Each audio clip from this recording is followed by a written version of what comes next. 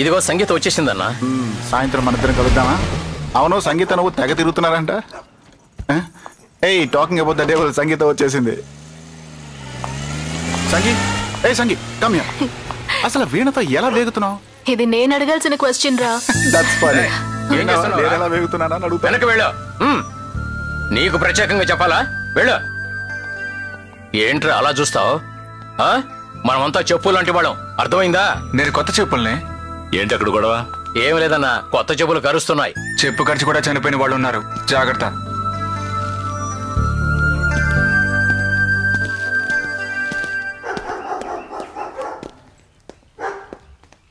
ఏయ్ నువ్వు ఎప్పటి నుంచి ఎక్కడున్నావు పుట్టినప్పటి నుంచి. నువ్వు? ఆ, వీళ్ళమ్మని మా నాన్న లేపుకెళ్ళినప్పటి నుంచి. రేయ్ మేడం వస్తున్నారు జరుగు. నేను అంతగా చెప్పినా వినకుండా వచ్చావు కదూ? చెప్పడానికి నువ్వెవరువే?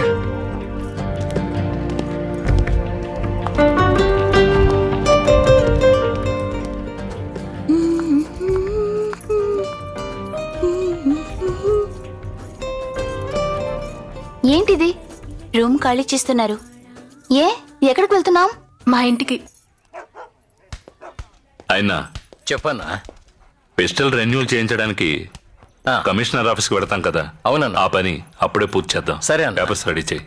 సరే. ఆ, పిస్టల్ అంటే కాంపాక్ట్ మీ దగ్గర ఉందట కదా? నిజమేనా? ఆ ఊ అన్న తుపాక్ గురించే మాట్లాడుతున్నాడు.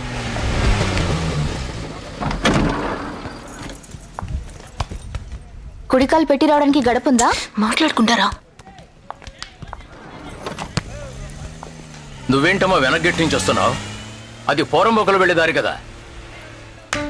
అయ్యనా నేను హాస్టల్ ఖాళీ చేసొచ్చాను. ఇక మీదట ఇక్కడే ఉంటాను. తను వీణ. అయ్యో వెంకీ అన్న గర్ల్ ఫ్రెండ్. Hi uncle. నాది ఆర్డినరీ ఫ్యామిలీ. మా నాన్న పోలీస్. ఇప్పుడు ఆయన లేరు. అన్నయ్య పిన్ని ఉన్నారు. అక్కడ పెట్టు అక్కడ పెట్టు. అయ్యన్నా ఈ లగేజ్ లోపలికి వెళ్ళాలంటే నాదొక కండిషన్ ఏమిటా కండిషన్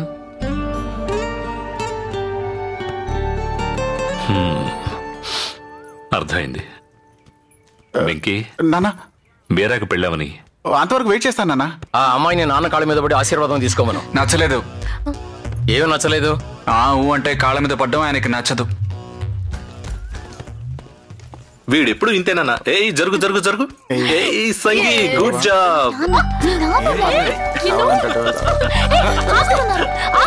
ఏంటి అలా పెట్టు చూసావా ఆయన?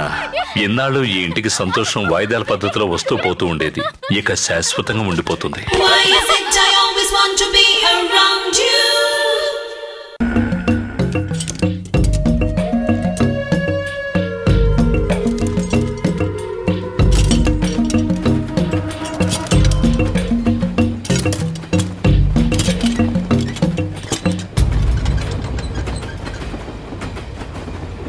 డిపార్ట్మెంట్లో పిలుస్తున్నారు.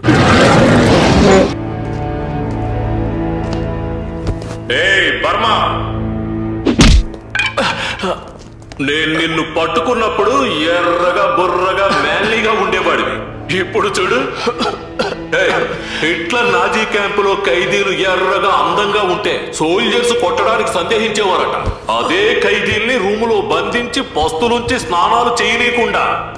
మలమూత్రాలు అక్కడే విసర్జించి కంపు కొట్టగానే అదే సోల్జర్స్ ఆ దుర్వాసన భరించలేక ఖైదీల్ని చితగొట్టేవారట ఇది ఓ సైకాలజీ రే నిన్నెత్తుకొచ్చి ఎన్నాళ్ళైందో తెలుసా?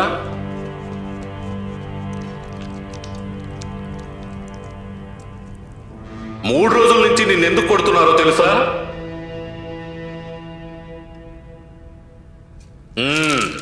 అది ఇంకో రెండు రోజులు